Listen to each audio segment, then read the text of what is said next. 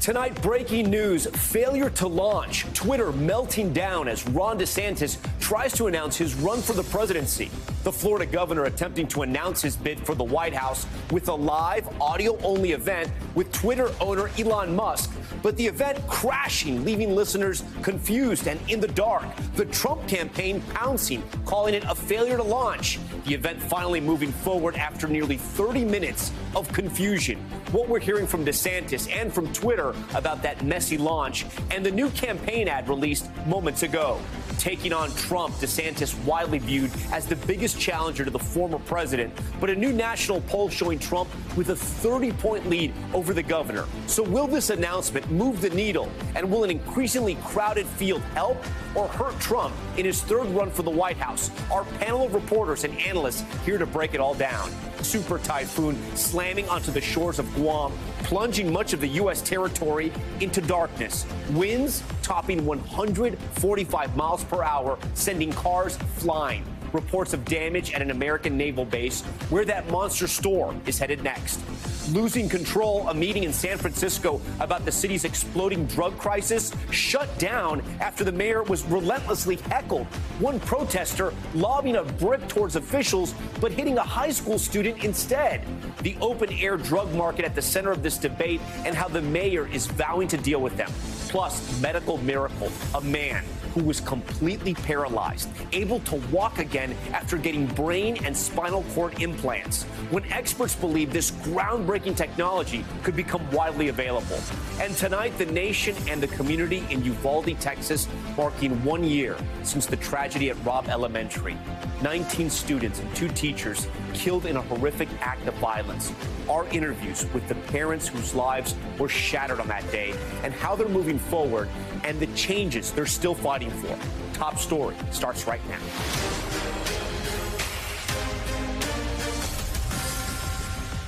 And good evening. We thank you for joining us on this very busy Wednesday night. We've got a lot of news to cover, so we want to get right to that major announcement that nearly broke Twitter. Florida Governor Ron DeSantis officially launching his campaign to be the next president of the United States.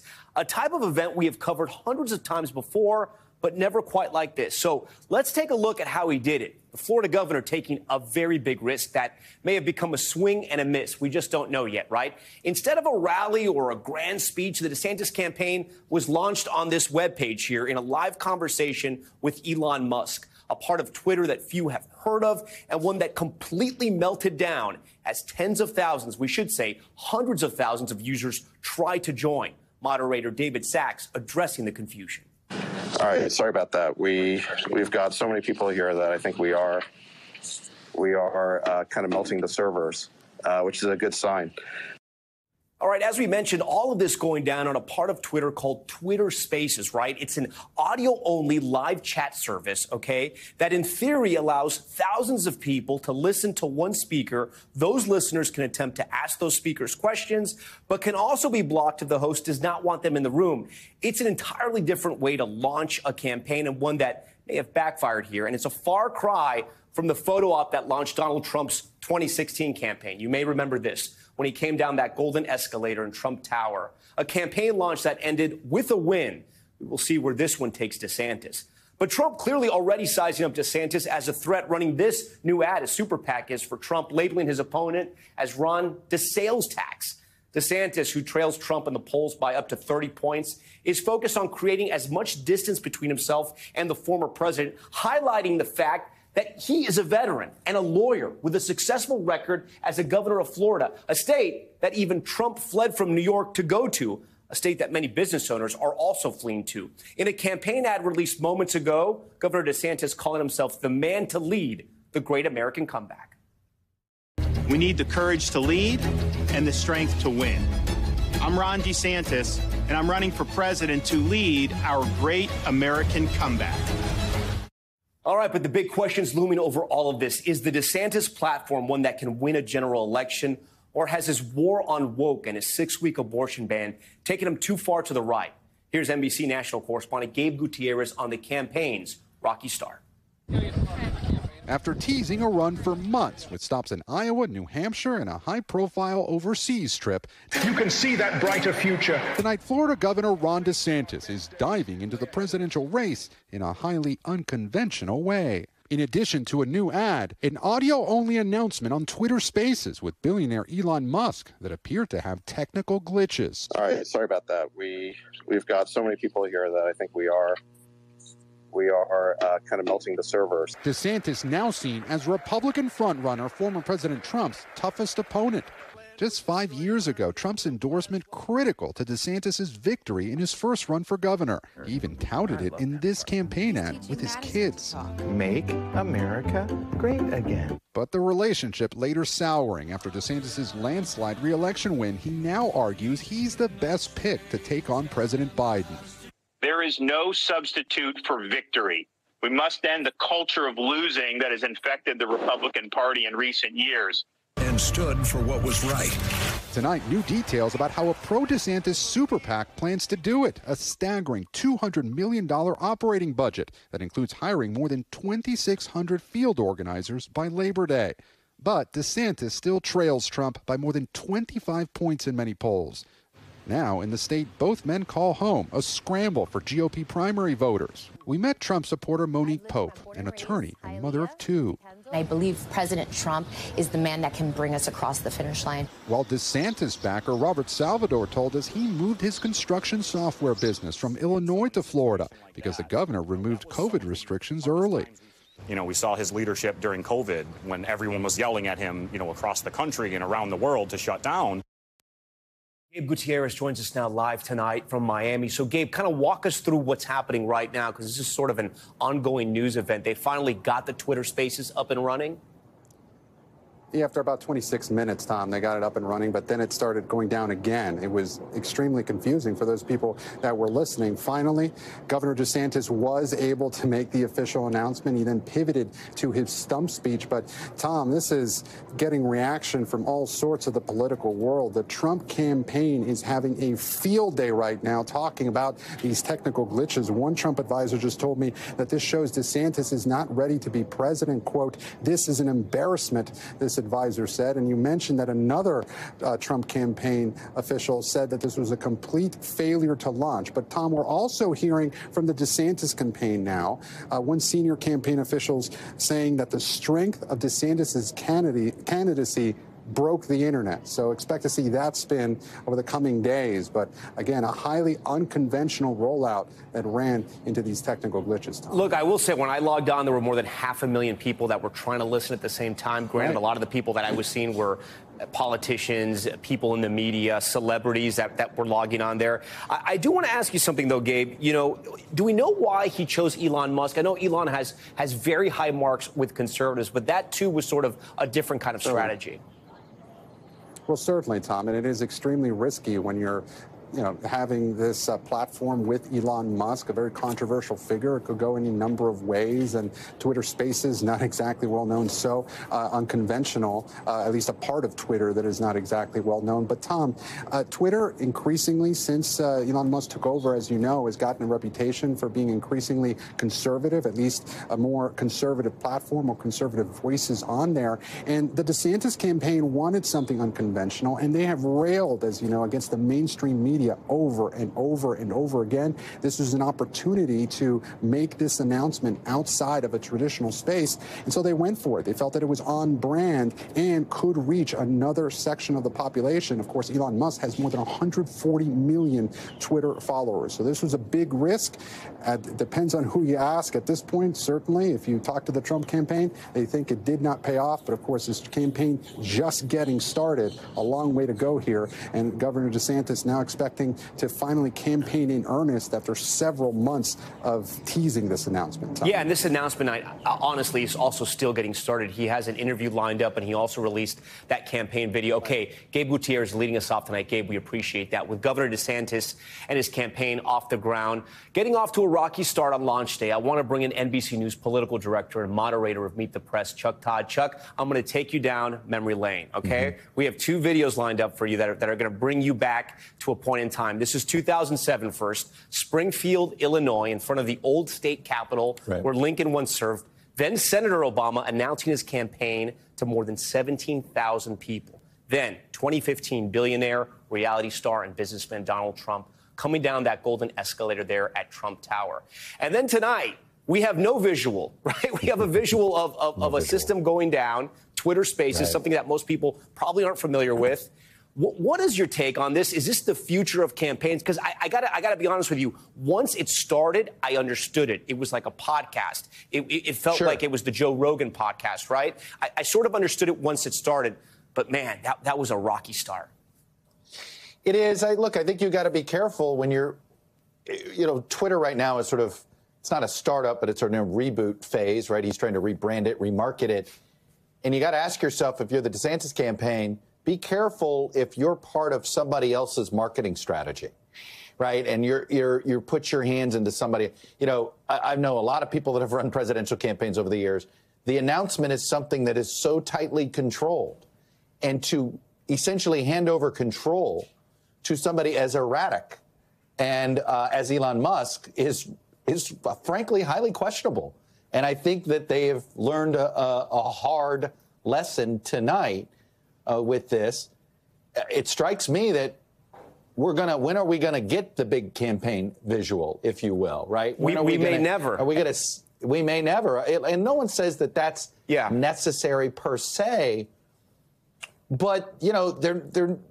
Look, I think annou- presidential announcement speeches. I will tell you this: it's the only speech I care about from a presidential candidate because it's usually the one the candidate actually works on writing themselves. Every other speech over time, has a lot of cooks in it and stuff like that. But that first one matters.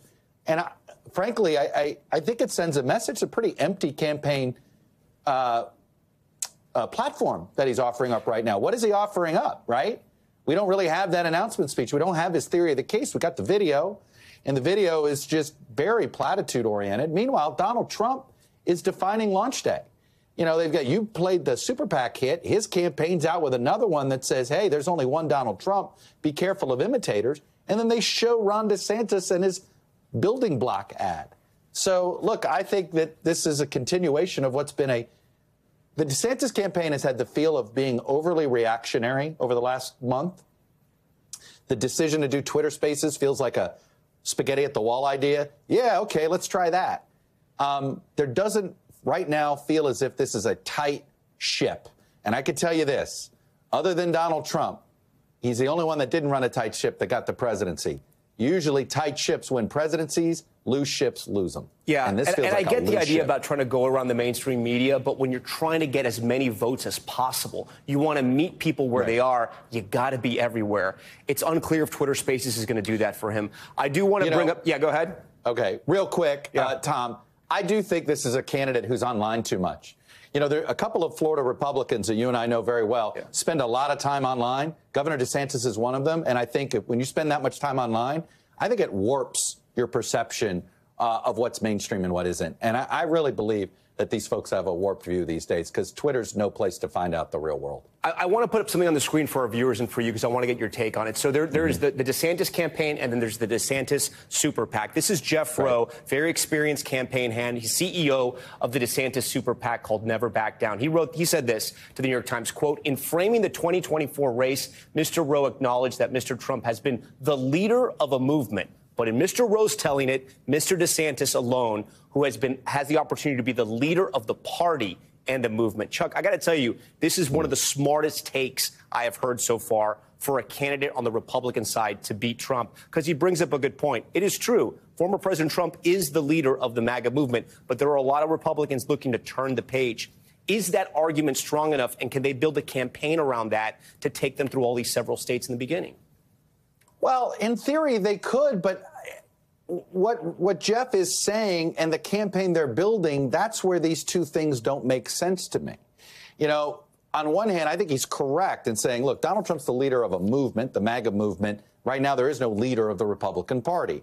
I guess in theory, it's Kevin McCarthy right now, right? Since he's Speaker of the House, sort of the highest ranking position of a Republican. Ron DeSantis is essentially wanting to be the leader of the party. But I think a lot of Republicans still view Donald Trump as the leader of the party, number one. And and so, uh, you know, I look, I go back to the strategy of trying to out MAGA him Like, if you believe he is the leader of that MAGA movement, then how are you going to be able to replace him? Right? It, it, it doesn't make sense to me. He'd be better off running almost an alternative campaign, the one Rick, uh, Tim Scott's trying to run, which is sort of a different tone, a different. Rick's, uh, Tim Scott's trying to run as leader of the Republican Party. I don't think Ron DeSantis is right now. Ron DeSantis feels like he's running to be heir of the MAGA, MAGA movement. And I don't see how that makes a lot of sense in a general election. Chuck, real quick, I, I want to know if something concerns you, because because when I heard this yesterday, I, I became mm-hmm. concerned. Just because we, we, we both covered former President Trump, we know how his supporters can be just with reporters, and we saw what happened on January mm-hmm. 6th.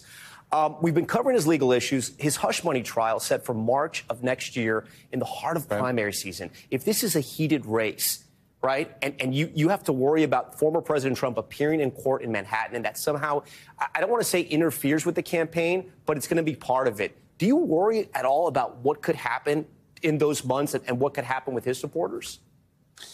I, that's the, it's almost, you know, Tom, this is why we're all like, well, let's see how this plays out, right? I don't presume that if more indictments have Donald Trump's name on it, that somehow he is going to, it is going to be it is going to boomerang in his benefit the way the Alvin Bragg and the Manhattan indictment did. You know, if there's one in Georgia and then one or two from Washington D.C., right? So we we don't.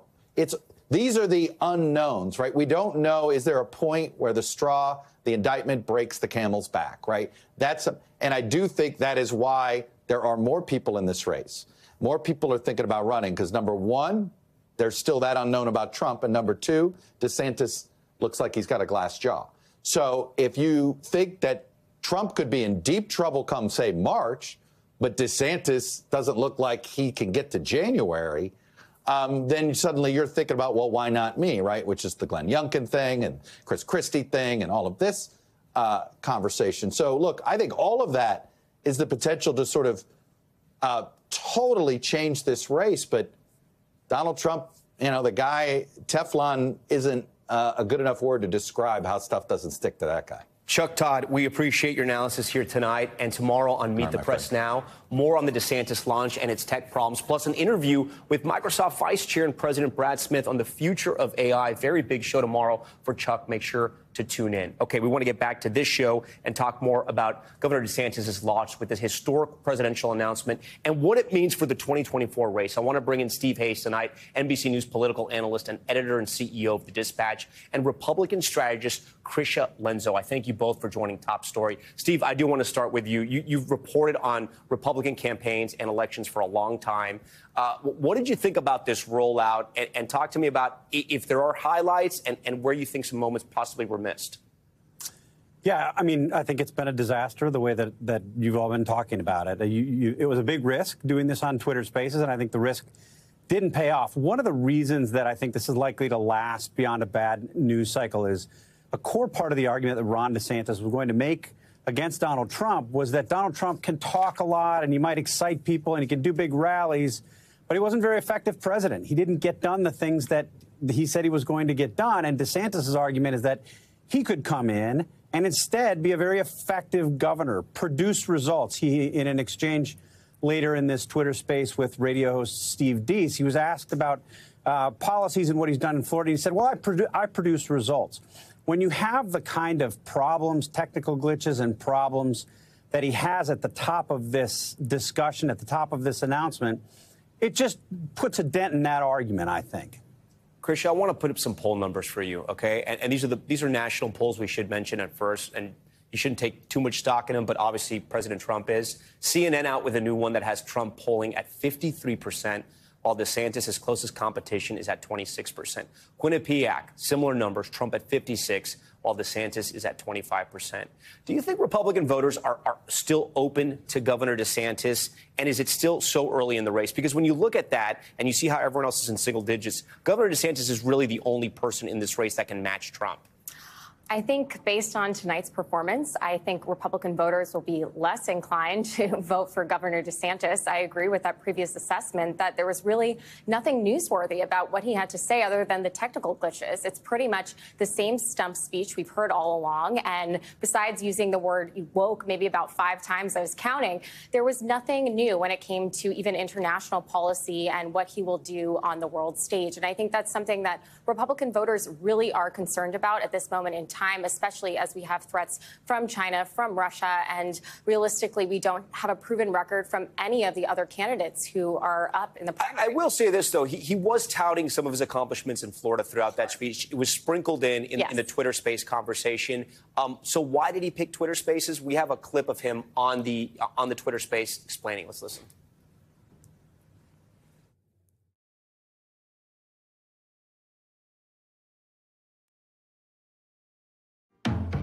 Run the sales tax had a plan to make you pay more. Talk about uh, the problems on Twitter Spaces and the technological problems. We, we're having technology problems here as well on uh, Top Story. It happens. Uh, anyways, he said he went there uh, on Twitter Spaces because it's a free speech environment, and that's what him and Elon Musk were talking about. So, you know, I, I want to ask you. I mean, there's a part of the Republican Party that loves this. They lean into that. Again, Elon Musk has huge, huge, huge high ratings with conservatives. So he is going to get some some street cred for that among GOP voters. He'll definitely get some street cred, but I think when it comes to the general electorate, it did come across as somewhat elitist in the presentation. I think um, when it, even David Sacks, uh, he was a VC who was moderating this. I mean, people, including Vivek Ramaswamy, talked about how David Sacks was one of the key venture capitalists who was in support of the Silicon Valley, uh, you know, bank financial uh, institution bailout. So that even raises questions about how this is reaching the general retail uh, banking customer, not to take it too far off the rails. But I think when it's uh, Elon Musk at the helm, yes, conservatives love his freedom of speech uh, territory. But I, ultimately, when it comes to even donations, the, asking for donations at the end of his speech and also having the reception at the Four Seasons tonight in Miami, I think that doesn't necessarily ra- relate with the average voter. Yeah, Steve, I got to tell you, I think there's been a, a lot of reporting about how the Trump camp, uh, the, the DeSantis campaign has had some stumbles. I got to tell you, I think some of it is unfair because it is still so early in the campaign. He's going to have, I, agree. think, a $200 million war chest when it comes to his super PAC. He has somebody who's very experienced and who I should remind viewers won Iowa. Jeff Roe was running the Ted Cruz campaign. They won Iowa. They beat Trump in a very early contest, which actually catapulted Senator Cruz through the rest of that primary. Uh, but I, I do have to ask you, I mean, there's still time for Governor DeSantis to not only catch up, but to really give Trump a run for his money. Yeah, I, I think there is. Look, you have more than half the Republican Party who wants somebody other than Donald Trump. For a long time, it looked like that might be Ron DeSantis. But as you point out, Tom, this is very, very early. And if you listened to the kind of conversation that he was having, he introduced uh, several different speakers. David Sacks introduced several different speakers who asked questions of Ron DeSantis, and he included Tom Thomas Massie, a very conservative member of Congress, who asked uh, some questions of Governor DeSantis. You had people who were supportive of Ron DeSantis on his COVID plans in Florida. You have somebody who he's appointed to the board of trustees of uh, the college down in, in Florida that he's sort of remaking in an anti woke way. And, and you imagine if you get past the glitches and get past some of the stumbles, that for conservatives and the conservative base who are open to and frustrated with sort of the culture war, uh, and believe in the arguments that he's making, there's some appeal there, I think. They will listen to some of the things that he's saying and say, yeah, that makes a lot of sense. And, you know, he's running a very base campaign based on culture war politics. And he's not the narcissist that Donald Trump is. So it's not hard to imagine that people will say, we kind of like this part of what Trump was offering before, but without the kind of baggage and chaos that Donald Trump brings. Stephen, you, do you think we're going to have a repeat of 2016 in the sense that just because what I'm getting from the candidates that have entered the race and the ones that are probably going to enter later, I get a sense that when we get on that debate stage, there's going to be a couple people going after former President Trump, but there's going to be a lot of people going after DeSantis. And we sort of saw this in 2016, right? There was Rubio who went after Jeb Bush, and Trump went after Jeb Bush, and then you had Christie going after Rubio, and you had Cruz and Rubio Yeah. going at it. And, and eventually, what it did is it just made Trump stronger. Yeah, I mean, you would think these candidates would learn, but look, each of these candidates is running for very distinct reasons. You've had Nikki Haley effectively running against Don, against Ron DeSantis and almost going out of her way not to mention or not to criticize Donald Trump. She's at, a, at an event in New Hampshire. I guess she's offered some sort of gentle criticism of Trump, but she comes at Ron DeSantis hard, and it's caused people to wonder whether she would like a position, uh, you know, potentially as Ron, Donald Trump's uh, running mate. I think you're likely to see some of the same things. They're all trying to be the last candidate. It's going to be Trump against somebody. At least that's the calculation that a lot of Republican strategists have made. They all want to be that somebody. And it, to that end, it would be very much a replay of 2016. Krisha, before we go, if you could give Governor DeSantis any advice, what would you tell him? You have to talk about international policy. It has to be more than just your blueprint for Florida. While you have achieved a tremendous amount in your state and you, you are a determining factor in terms of how the rest of the country will play out, people want to see your perspective on the world stage. And I think it, it's very important, especially in this Yeah, you say Ukraine, yeah. China. There's, there's so many 100%. issues there. Krisha Lenzo, we thank you so much. Stephen Hayes, always a pleasure. Thank you for joining Top Story tonight. This is a live look at Tina Turner's home just outside of Zurich, Switzerland, and you can see the growing memorial there with all those lit candles. For more on Tina's legendary career and what she meant to all of her fans from all over the world, I want to bring in Gail Mitchell. She's Billboard's R&B and hip hop executive director. Gail, thanks so much for joining Top Story tonight. We heard all about Turner's life and legacy there in that piece from Lester. Can you speak more to uh, about the Tina that overcame to become the legend we know of today? Yeah, I was just listening to the uh, clip and, and, and watching uh, that, and it just drives home. Um, listening to the music, just what she came through, the whole arc of her life. You could probably, if you wanted to truncate it in in in uh, social media, uh, a fool in love to what's love got to do with it. But in that arc, she did so much, especially finding herself finding who she was as a, as a woman, as her own person, doing the things she wanted to do. She was very determined to move from soul into rock and roll, which, you know, a lot, once you're signed to a label or dealing with labels, a lot of times uh, they've wanted to change who people are and what they are, but she was steadfast and determined that she was going to be this force in rock and roll, and she turned out to be one, very influential in that respect. Being able, as we, as the clip noted earlier, about her being able to be a, become a survivor and be brave enough to tell her story about uh, escaping from sexual abuse and, and verbal abuse and physical abuse and um, rising triumphant through all that, but still keeping the essence of Anna Mae Bullock. You know, I, I want to ask you something. She was a female icon, she was a black icon, but she was also an American icon. What was it about her that appealed to so many audiences? I think the fact that she was. Um, she just did music to do music. Everybody says music is the universal language, and it certainly is. And she was able, she had that aura and that creativity and that, and that voice, that powerful voice that emitted such emotion and power and inspiration all at the same time. And I think that that's what, uh, and that stands at the heart of what an, American is, is is all of that. And she encompassed all that. And I think people, uh, as you just said, people, black, white, all ethnic groups uh, can uh, learn from her message of empowerment and, and, inspiration and never giving up on yourself. I think that's another major lesson she showed, and that's certainly one of the core values of America is don't give up. We're, we're here, we're going to fight, and that's essentially what she did throughout her life and emerged triumphant at the end.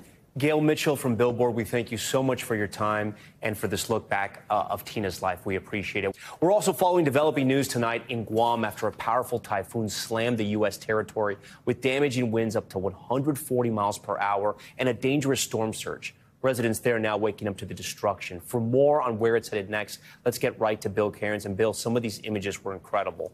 It's been 12 hours since the northern portion of the island was in the eye wall, the southern portion of the eye wall. And it's been about four hours since the sun came up. There's always kind of a fog after these big storms hit, whether it's a hurricane here in our country or anywhere around the globe. But now that we're four hours in and the sun's been up, we haven't heard of anything that's catastrophic. So that's a piece of good news. And the storm actually weakened as it approached Guam and then has intensified as it exits. So here's what we do know. The winds were about 105 to 135 miles per hour. That's the equivalent of what we would call like a category three hurricane. They had had hurricane gusts for six hours, tropical storm gusts for 24 hours. Last night was miserable. No one had power. Everyone's in their homes and they have no idea what's going on outside, but they can hear like the wind just whipping. And the highest wind gust measured was 105 miles per hour. And then the sensor broke. So that's probably as high as we're ever going to hear. It did rain about 12 inches. It rained a one and a quarter inches in only 10 to 12 minutes at the airport. Definitely landslides and mudslides occurred, but we haven't seen any catastrophic pictures. So here's where Guam is, and you can see how it, look at the eye reappear as it exited Guam. It actually, Guam is so fortunate. Let me show you the path. So this is the historical path. So the storm was heading towards Guam. All the alerts were going off. Everyone was like, oh, look out. And then it took this little turn to the north and then it went back to the west. That spared Guam the direct hit. So I'm sure people in Guam, they have a lot of cleanup. There's tree damage all over the place. Probably won't have power for days, if not weeks, in a few spots. But it's not what they feared. The track almost towards Taiwan or even the southern islands of Japan early next week. So we'll keep an eye on that. Incredible that it made that turn yeah. there that you just you pointed out there. Bill, we appreciate all of that. We want to switch gears now. One year ago, a gunman walked into Robb Elementary School in Uvalde, Texas. He killed two teachers and 19 students as law enforcement waited for more than an hour to stop the shooter. The tragedy shaking the community and the country to its core. I sat down with families grieving their losses while they're trying to find a path forward and find change. In Uvalde, Texas, memories of the massacre are impossible to escape. Some days I feel like it was just yesterday, but you know, being able to hold your daughter, give her a kiss, say I love you, it feels like an eternity. And just as the days go by, it gets much harder. One year later, loved ones of the 19 students and two teachers killed are still grappling with their devastating reality. Each of these women lost a daughter that day. It's hard waking up every morning and knowing that she's not going to yell at me from the, her bedroom. You know, it's hard walking into our house and there's nobody in our house anymore. And we just want it to stop. And I don't know how to make it stop. Veronica Mata lost her 10 year old Tess. Kimberly Mata Rubio's daughter, Lexi, was also just 10 years old. Gloria Cazares lost her daughter Jackie and niece Annabelle. They are among the Uvalde families pushing for political change and stricter gun laws. What's it like when you hear there's been another shooting and it, it literally happens almost every week? It's devastating, um, disappointing, it's disgusting. You would think sometimes you blame yourself. You think that what you are doing, you're going to prevent somebody else's child from dying. I know a lot of you have, have decided to stay here and not move away. What has that been like? I think it's more difficult. I hate this town. I hate living here. My daughter's here, though, so how do we leave? The Robb Elementary School building will be demolished. The surviving students and staff now go to different schools. It's been through a lot. Including Noah, who got a scholarship to attend a private school nearby. He says history is his favorite class. So tell me about your new school. How is it? Uh, it's it's good. I've been doing I've been doing pretty good. Yeah. Hmm. You've enjoyed it? You've been able to make some friends? Yes. He was in one of those classrooms that day, shot in the back, but somehow survived. You know, we're, we're approaching the one year marker of what, what had happened. How, how has the last year been? Uh, it's been an eventful year, um, both good and bad. Uh, good in that our son has made some progress uh, physically, uh, emotionally. Um, still a long road ahead. Now, the 10 year old says his life was saved thanks to the actions of the two teachers who also lost their lives that day Irma Linda Lorenzo Garcia and Eva Mireles. It makes me so proud of my sister and know that if, you know, the way she went, at least she went a hero for sure. It's a teacher's nightmare. And my sister stared it straight in the face. Velma Duran is also a teacher. A year later, she still can't imagine what her sister Irma must have gone through that day. I don't think they were prepared for the type of weapon that they were staring at. And that's the nightmares.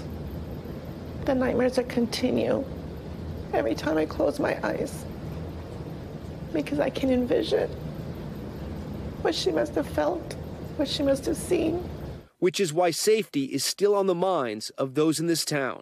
there's a lot to do here to try to uh, to move forward. Gary Patterson is interim superintendent for the district, a role he stepped into last November when he volunteered. What I tried to do right off the bat was try to reach out to the families and open lines of communication and, and make an attempt to reestablish some trust that had been lost in the aftermath. When parents ask you, are, are my kids safe? What, what, do you tell them? I tell them that uh, I believe they're safe as they can be. We've progressed a lot rapidly with fencing and rekeying and securing our, our exterior doors, but there's still a lot of, of parents who don't feel safe. A community forever shaken by a uniquely American tragedy. Will the fight ever end, or will you constantly try to fight for, for reform? I'll never stop. Yeah, we, yeah, we're, we're never going to stop. Um, I don't think that there's a, a finish line in sight. And before we go to break, we want to take a live look tonight from Uvalde, Texas. This is the scene right now at a memorial in the town square honoring those 21 victims.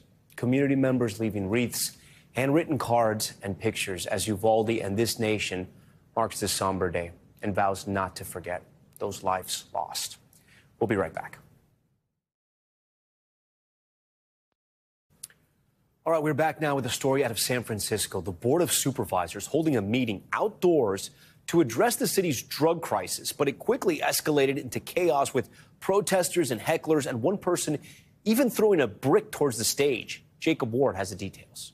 At United Nations Plaza for a San Francisco city meeting held outside focused on the city's drug and overdose crisis devolved into chaos in the very plaza the mayor is hoping to clean up. All right. Protests, heckling, even a brick got thrown forcing the meeting back inside City Hall after just 14 minutes, according to NBC Bay Area. It all started when the Board of Supervisors President Aaron Peskin called the special session in a plaza near City Hall and just off the historic but troubled Tenderloin district. But after initial comments, we will recess. The meeting ending abruptly as protesters and hecklers shouted at officials. The person who threw the brick quickly taken into custody. Police saying a girl was hit with the brick and suffered non-life-threatening injuries. This hectic scene, a reminder of the struggles residents face often in the city's UN Plaza. Video from just the night before shows the scene, which residents say is one of the biggest open-air drug dealing sites in the city. These people ain't just stayed here and homeless. No, these is new people here. These ain't the same people. This incident, the latest controversy in a city grappling with a large homeless population, drug overdoses up 37% this year through April, multiple recent acts of violence caught on camera, and several notable store closures in the city center. San Francisco's leaders now trying to bring the once bustling downtown back to what it was pre-pandemic. When the special council meeting reconvened inside, the mayor called out critics of her approach. A certain member vocally expressed opposition to some of this work. The mayor also responding to a tweet from Supervisor Dean Preston, who wrote in part, arresting people for drug addiction is not moderate nor common sense. It's reactionary, cruel, and counterproductive. Mayor Breed fired back. When we offer shelter, when we offer housing, and when we offer behavioral health support, all of the services that exist in this city and those offers are declined, that doesn't mean a free license to terrorize a community. Another day, another very public challenge for the city's leadership. Jake Ward, NBC News. All right, coming up, the new Murdaugh indictment why the man convicted of murdering his wife and son has now been charged with 22 new federal counts. Stay with us.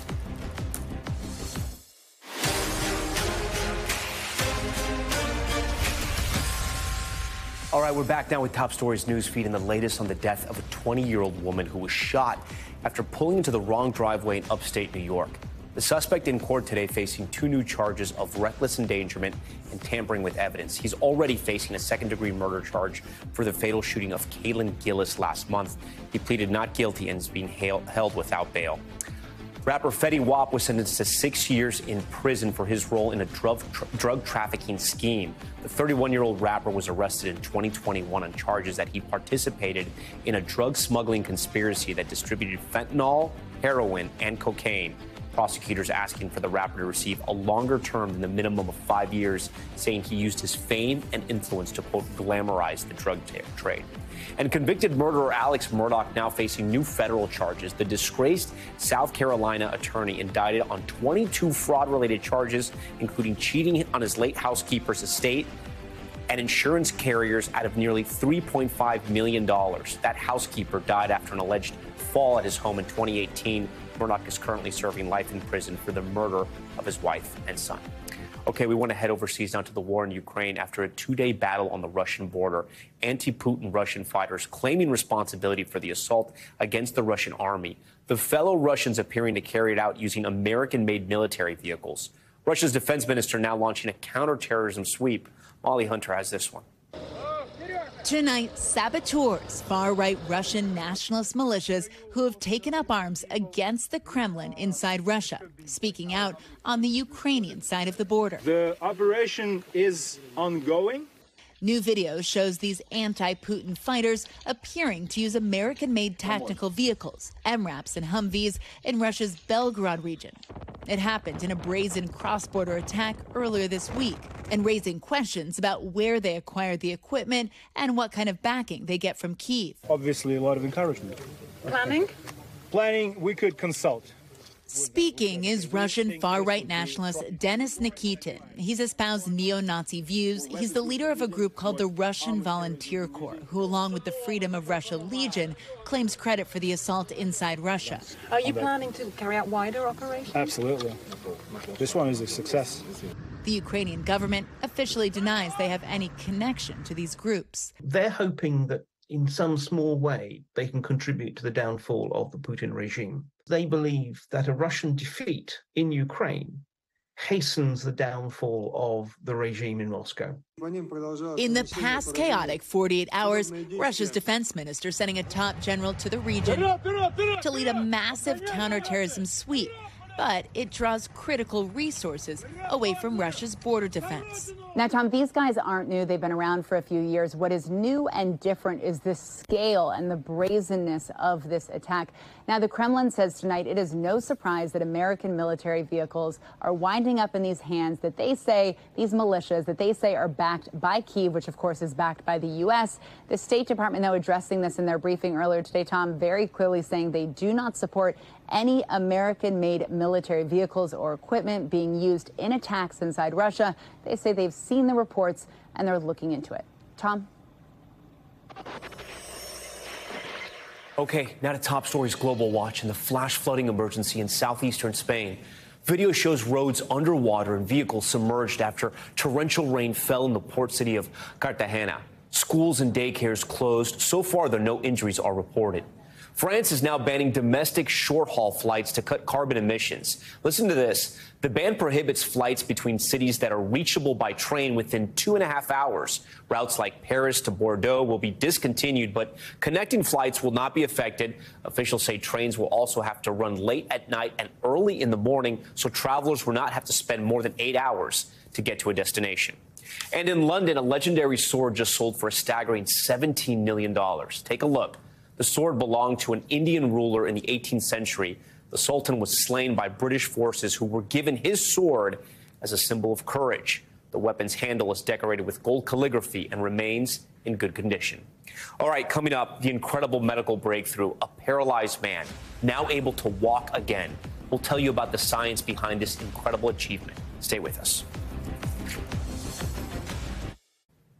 We're back now with a medical breakthrough that has allowed a paralyzed 40 year old man to climb stairs and move more freely again.